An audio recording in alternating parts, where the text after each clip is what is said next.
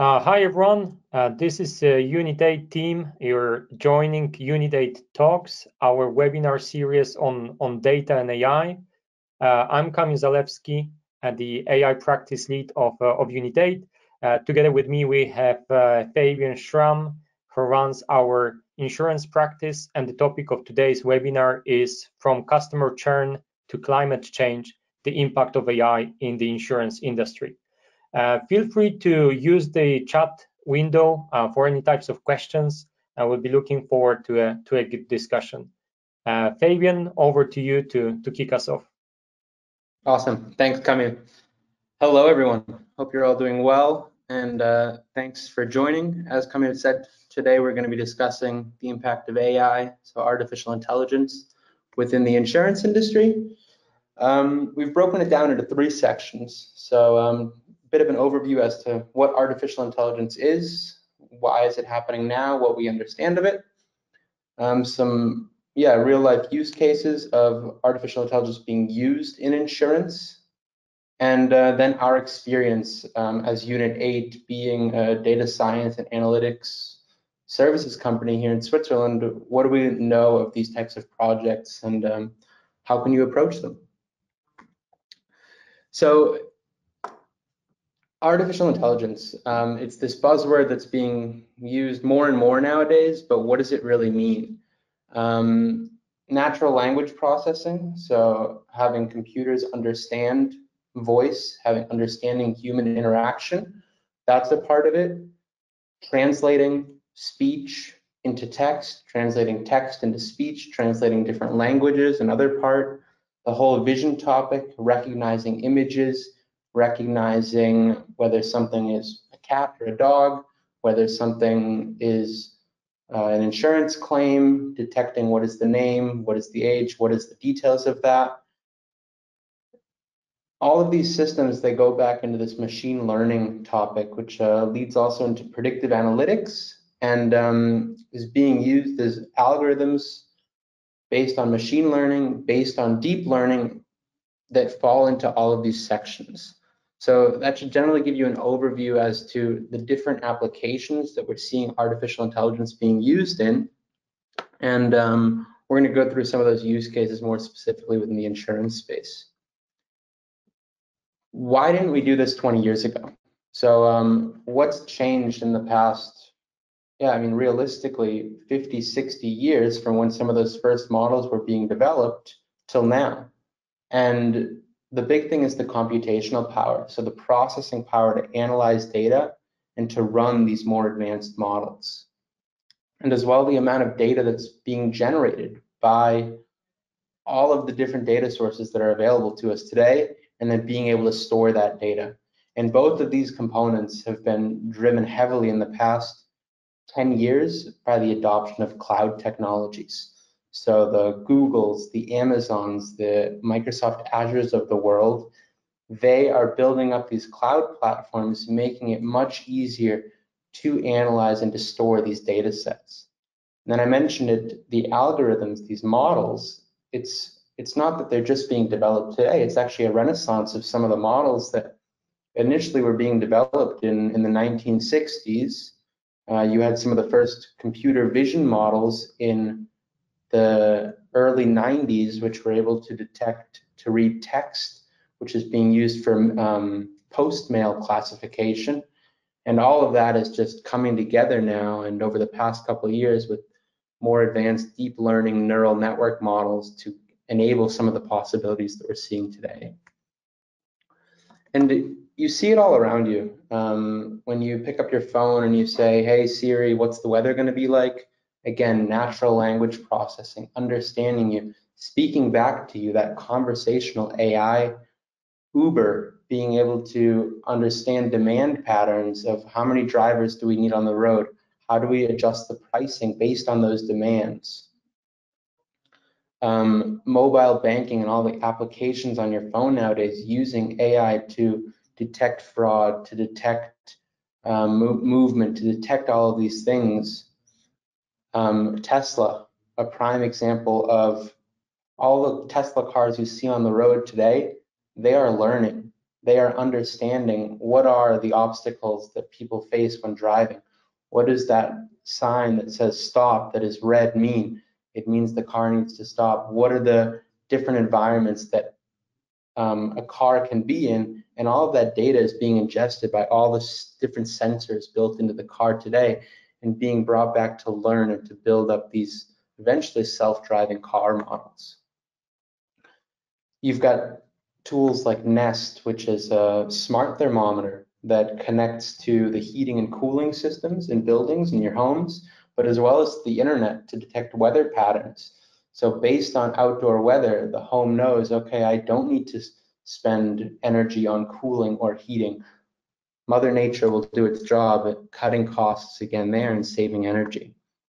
And then um, a big one now in pandemic times, um, Netflix just the usage of that exploding over the past 12 months. But Netflix, when you log in, it tells you there's a 98% likelihood that you will like this TV show based on the past three or four other TV shows that you've watched.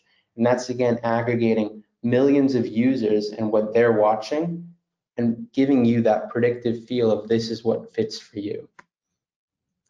Now, for all of the examples that I just listed, data is at the heart of those those companies and those business models. And uh, if we look at the insurance industry, there's lots of data to be had. There's all of the historic data, which might still be in paper form, it might be digitized, but all of the claims data, all of the insurance applications, all of the underwriting policies, all of that data is there. You've got a lot of data in ERP systems like SAP, like Oracle, all of those data sources. You've got CRM systems like Salesforce collecting lots of user data, those interaction points between sales and marketing teams and their customers, mapping that customer journey.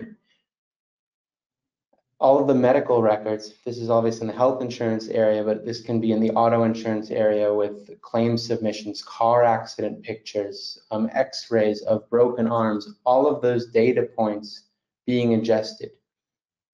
And then the big one that's becoming more and more prevalent is um, what we call IoT, so Internet of Things. Again, those connected smart devices, whether it's smart cars like Tesla with all the sensors built in, whether it's smart watches that can measure blood pressure, that can measure heart rate, that can measure activity levels, smartphones measuring location data, or drones taking in picture and uh, yeah, property data. And then going even one step further, geospatial data in the sense of satellite data, which we're seeing being used a lot in the property and casualty space.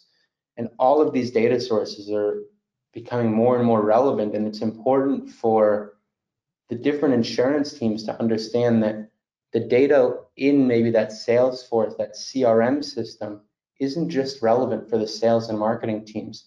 That can potentially help combining that with some sensor data, with some geospatial data, with the SAP data out of the ERP to help the underwriters make better underwriting, more risk averse policies. So if we look at the indus uh, insurance industry, there's a couple of key challenges or opportunities. You can decide how you want to look at them, but customers are demanding um, new offerings. So on a product development side, they're demanding things like on-demand insurance. They're demanding things like usage-based insurance. Um, in a lot of developing countries, we're seeing micro-insurance becoming a really popular topic. From a sales and marketing point of view, that personalized offering, seeing exactly what's relevant for me, what's the next best offering based on the previous purchases or the existing contracts that a customer has, predicting customer churn, and overall increasing that customer loyalty and satisfaction um, are going to be key um, within the sales and marketing piece.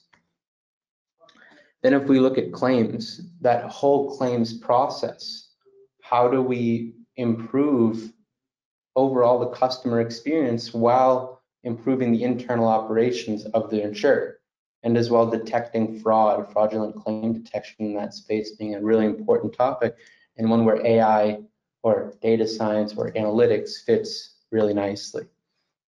And then last but not least, I mean, the heart of the insurance industry in its origins already having been based on statistics, we're now moving away from that more yeah, modular and chart-driven risk or rule-based policies to this more modular and dynamic approach, better understanding risk, better segmenting customers, not in batches of this is uh, 10,000 um, 10,000 customers between the ages of 25 and 45, but this is this is Fabian Schramm. He is fits exactly this profile. So really going into a very granular approach when when looking at customers and underwriting policies for them.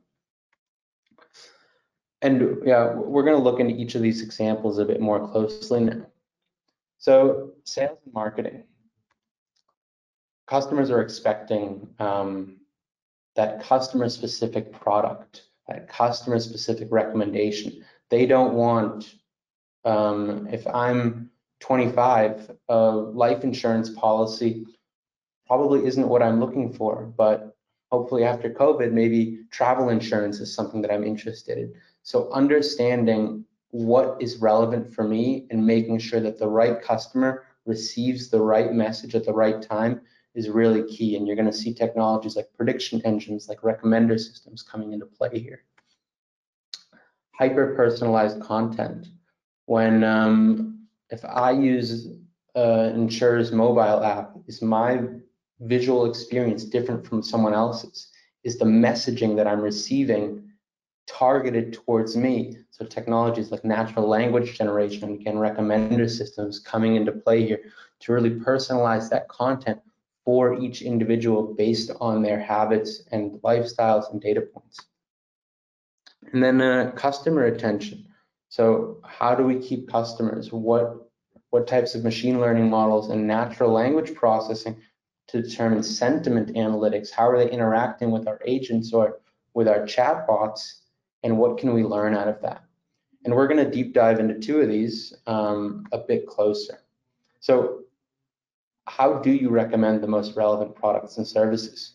So you said clients are expecting these, these highly customized interactions. There's cost pressures on the insurers to, yeah, to make every touch point and every recommendation as relevant and as likely to move to that buying stage. And obviously the, the portfolio of what's being offered is growing more and more because you're getting those more and more personalized offerings.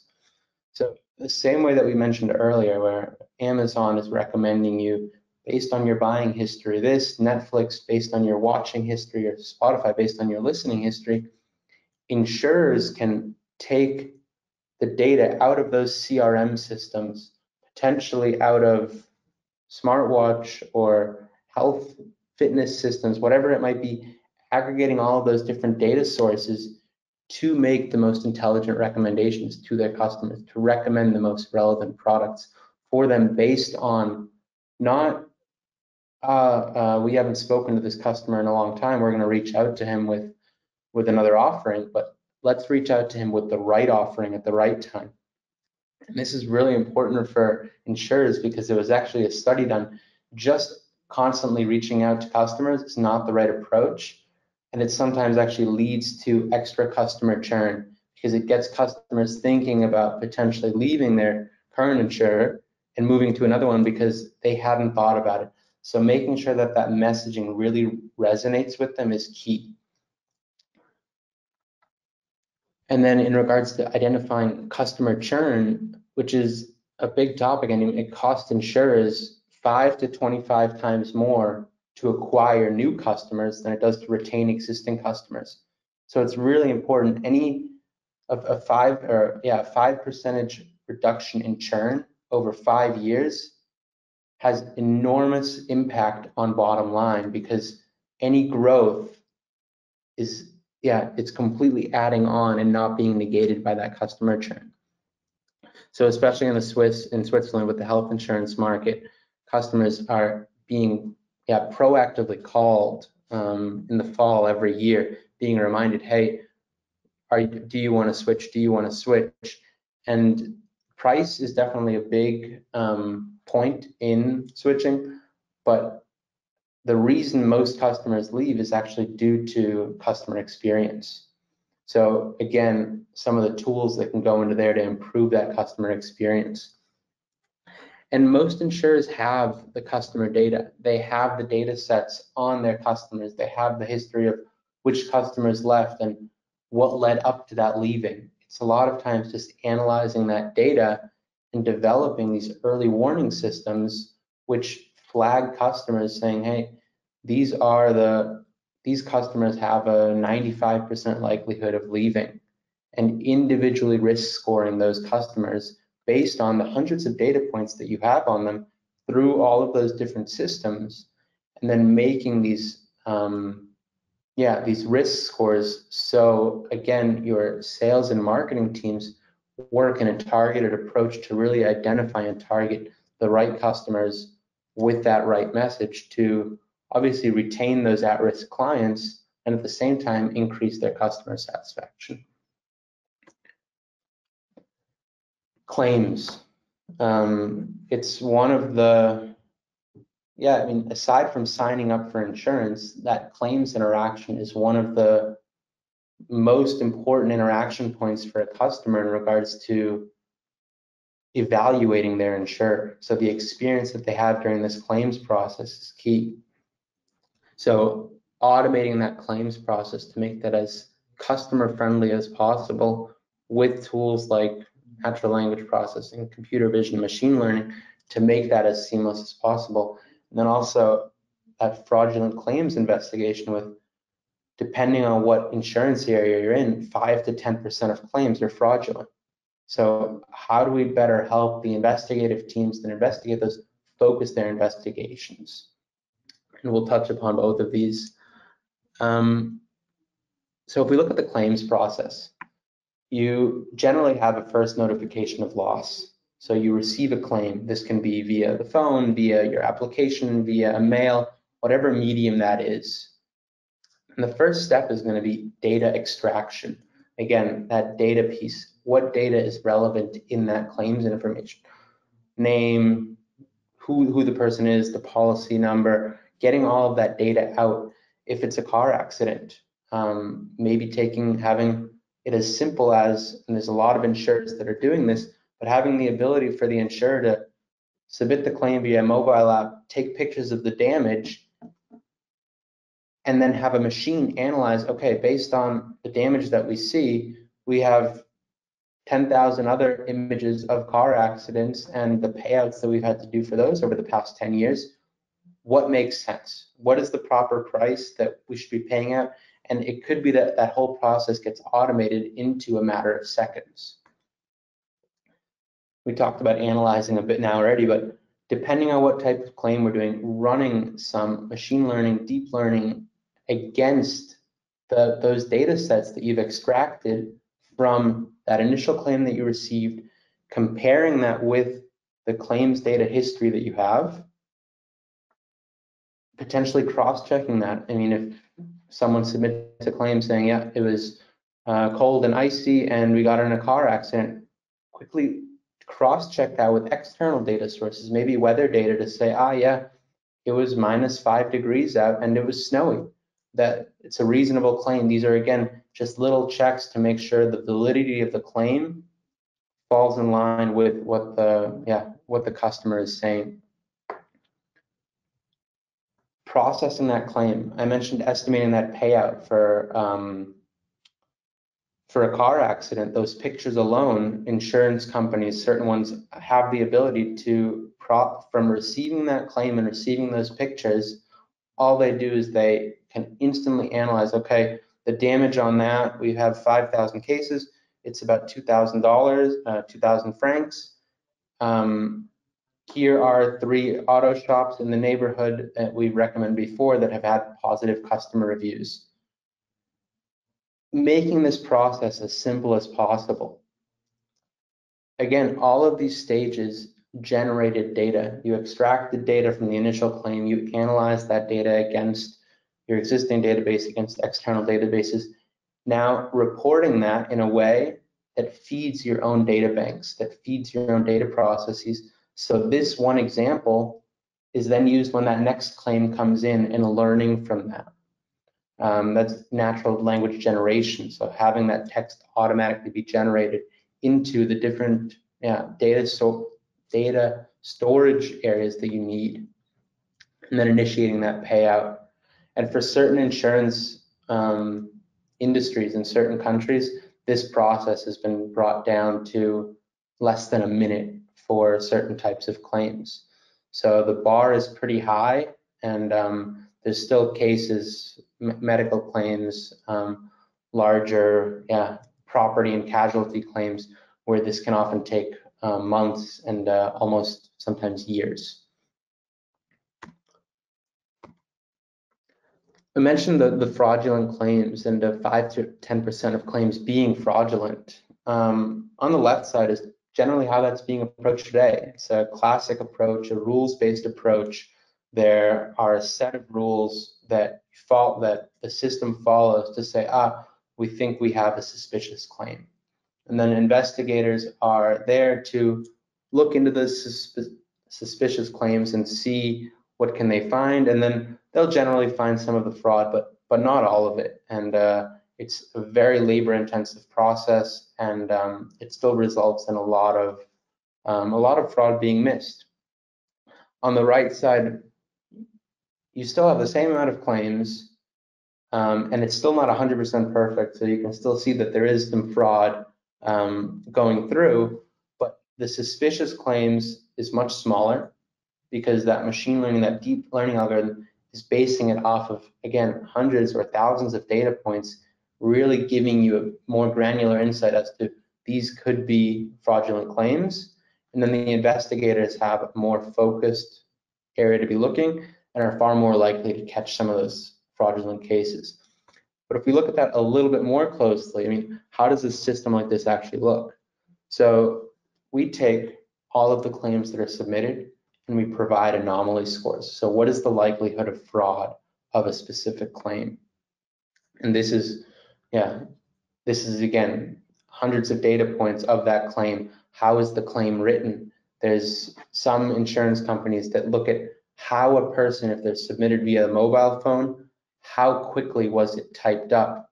And these are all micro data points that, that a human can't analyze but machines can process them and machine learning and deep learning algorithms can process these as key data points, or in this case, features to analyze and to make decisions against.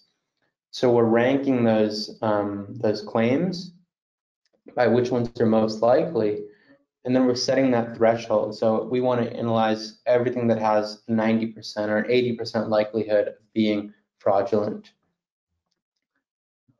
we can list all those claims up. And the important feature here, this top part is, yeah, it, it is machine learning. It is um, potentially deep learning, but this explanation model is really the key differentiator. Um, and a lot of people fear these artificial, um, fear artificial intelligence or machine learning or deep learning because they consider it this black box. So it's really important that when you do develop one of these models, that you have an explanation engine, an interpretability engine to say, hey, we flagged claim 123 as fraudulent because of these are the reasons that, that the system flagged it. And that will really help investigators then say, okay, yes, no, oh, this seems to have been maybe an input mistake by, by the customer. Maybe he he simply made a mistake. So it allows them to much quicker, yeah, mediate and remediate those types of fraudulent claims and catch the ones that are truly fraudulent.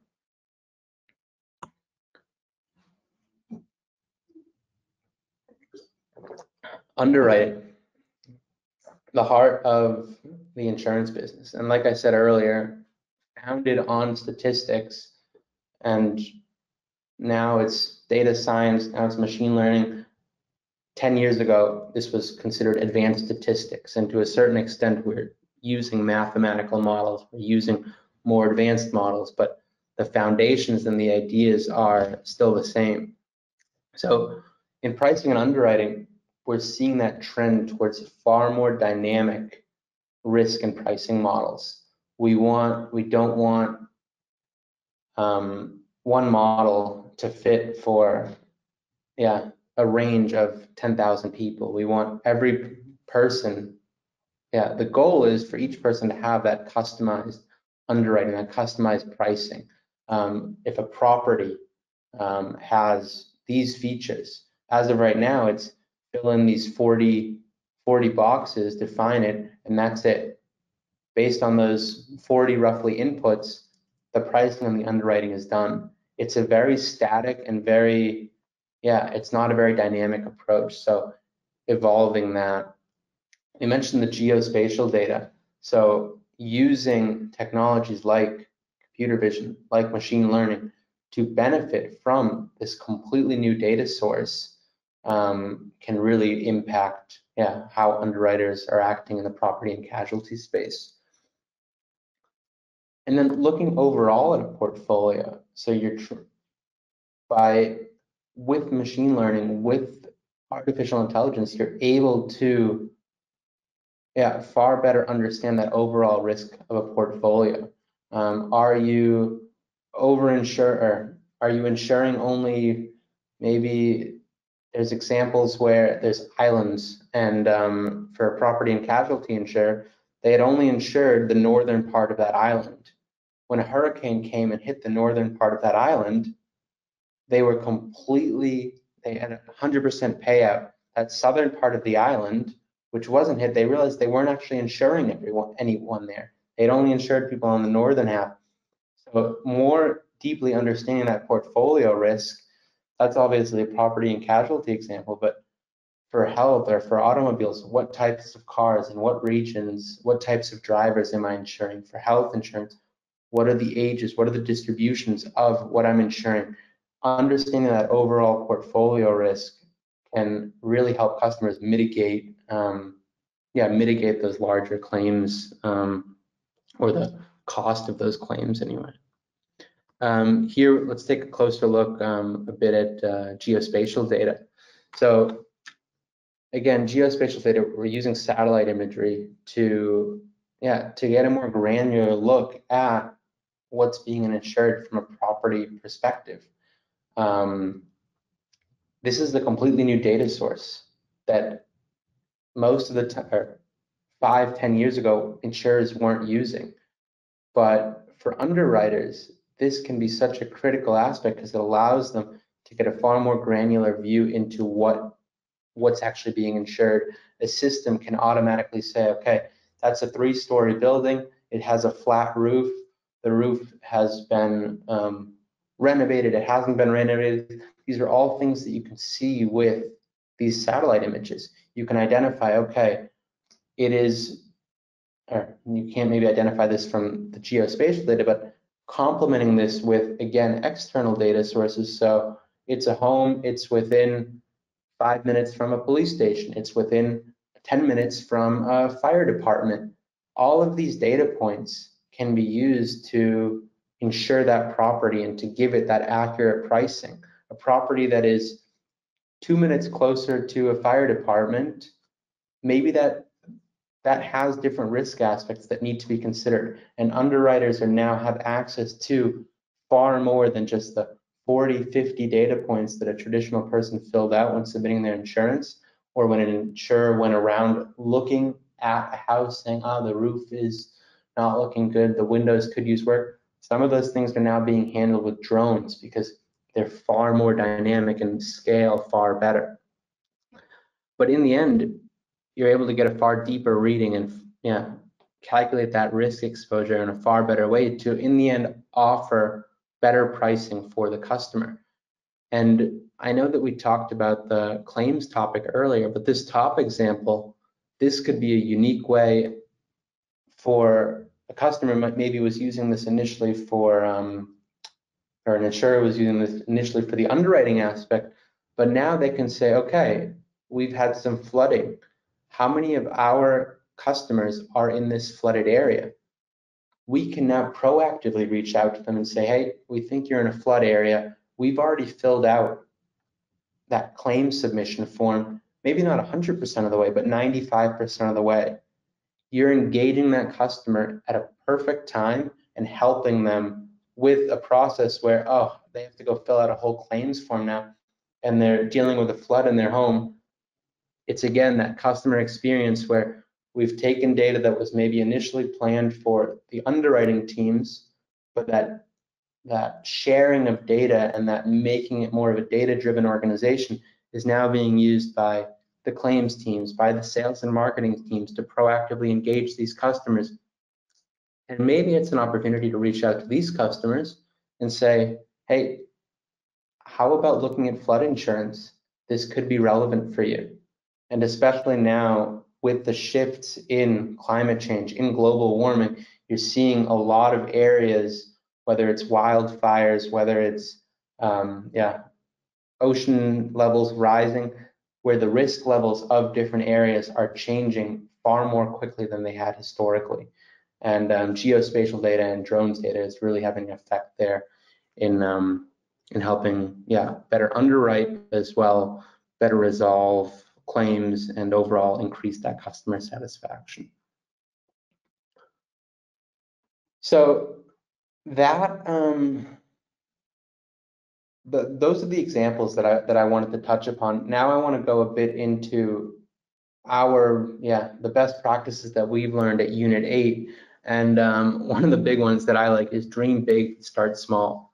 So with all of these initiatives, uh, if you say ah we need to become a data-driven company or we need to become an AI-driven company, whatever it might be, that's great and that can be a vision, um, a five-year vision, but start small. Find actual problems, whether it's we want a fraud detection or we want a better fraud detection engine for our claims.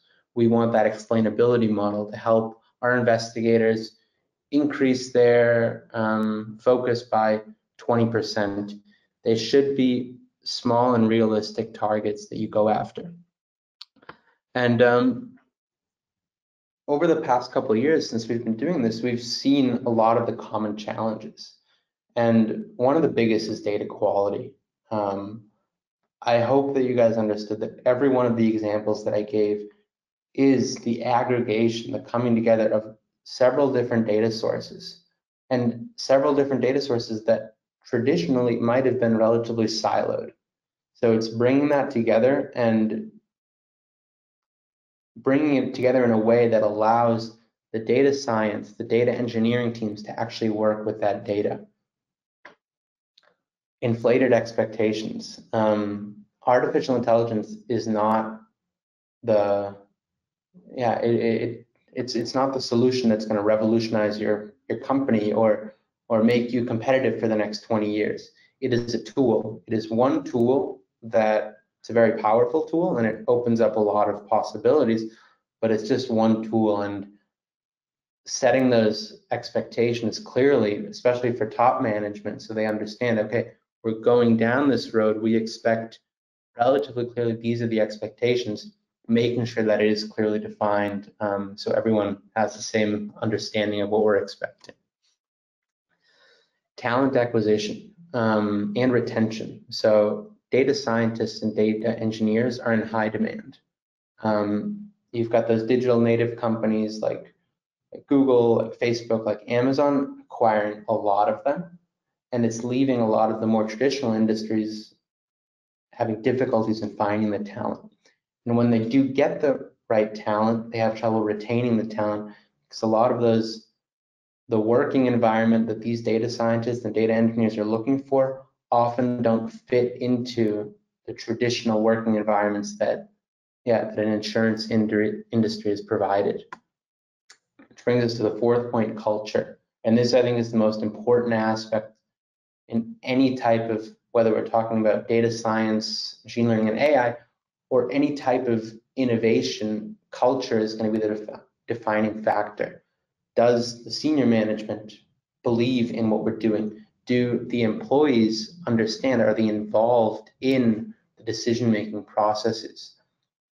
And that's a really important point because you can build the greatest AI model in the world, but it's not being adopted and not being used by the employees, then it's not a success.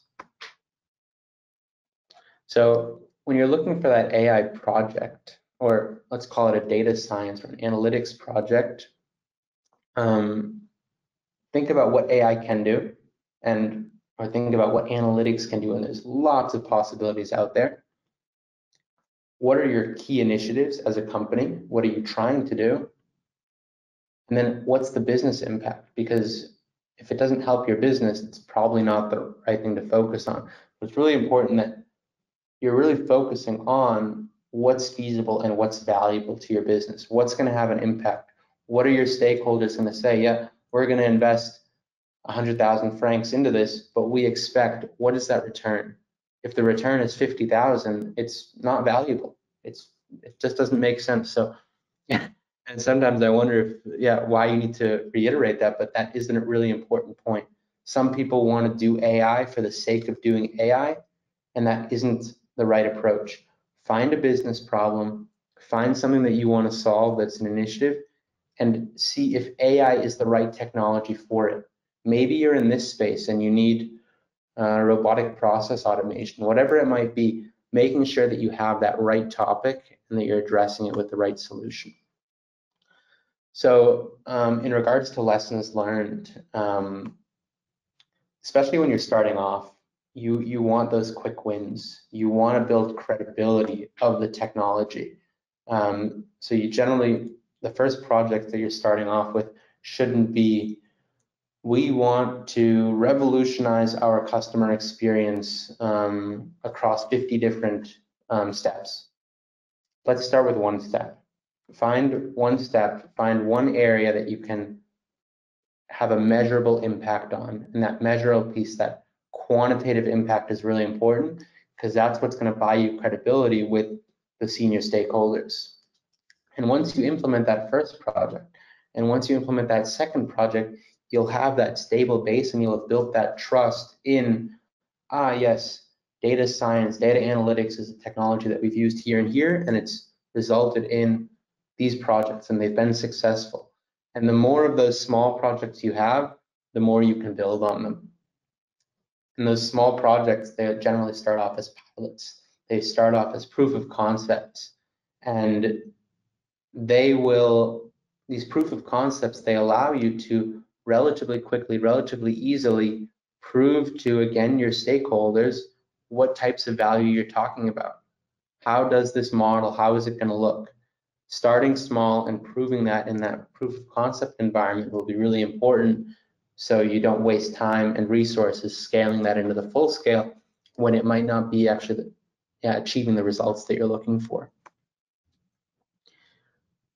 we touched upon this. I mean, creating value, solving that real problem. Don't focus on things that, that don't have impact. Make the subject matter experts work together. Um, this isn't a project that the innovation department can lead on their own. This isn't the project that that Unit 8 could lead on their own. This isn't a project that your IT can lead on their own. The business stakeholders, the IT stakeholders, data science, data engineering teams, they need to come together.